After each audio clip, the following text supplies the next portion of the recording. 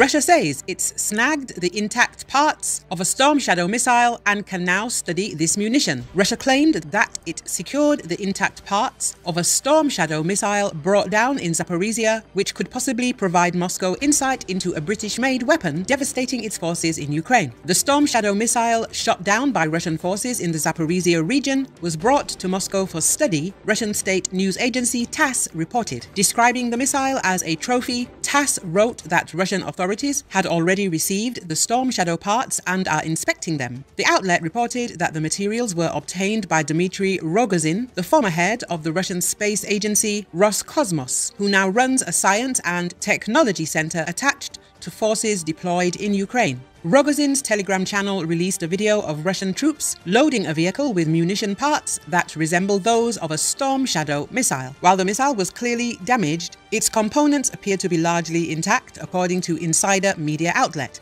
Storm Shadow missiles provided by Kiev by the UK Ministry of Defence have a range of more than 155 miles and can evade detection from air defence systems by flying low. They are typically fired from an aircraft. Ukraine launches them from Su-24 Fencer jets.